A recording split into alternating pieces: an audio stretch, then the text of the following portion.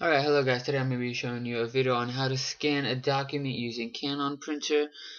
So the first thing I recommend you to do is um, install the CD that came with the Canon printer and um, you know get used to it, look at it a bit and you know and um and the second thing is you have to have your Canon printer connected to your laptop or computer and um it's, it has to be turned on.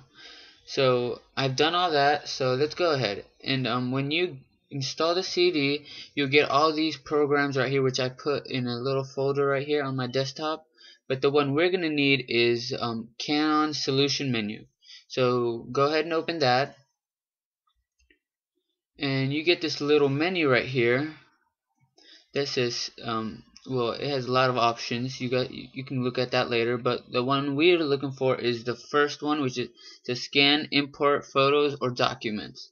So you click on that and it, another window opens up. And there we go. So um and then it says if you have a stack of documents then you know you you choose this. If you have just one or one photo or one document then you choose this the first option.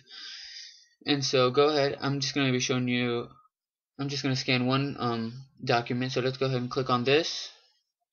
And another and this window pops up.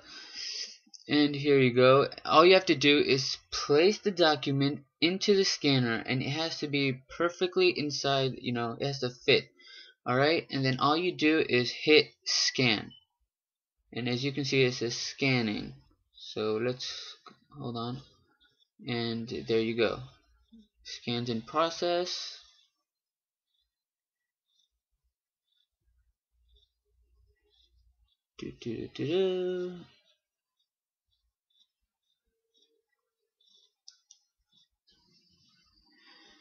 and there you go. And it asks you if you want to continue scanning. Um, if you if you want to continue scanning you, put in the next document and you scan.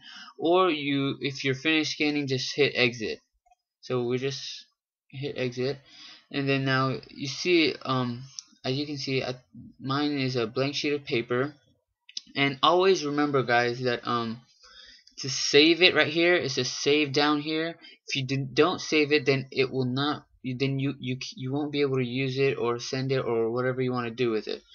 Okay, so go ahead and save it and um, once you um, install this, it'll automatically create a folder in your pictures um, folder that says um, see as you can see users Muhammad pictures and the file name will be mp navigator and then it'll have the date on it okay and you can you know save whatever it is that you want name of the file I'll just say blank and um, go ahead and hit save.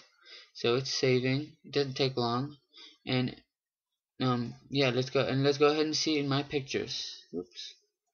Let's go ahead go into my pictures and there it is and there it is MP Navigator EX double click on it and today's date is the 8th and there it is blank.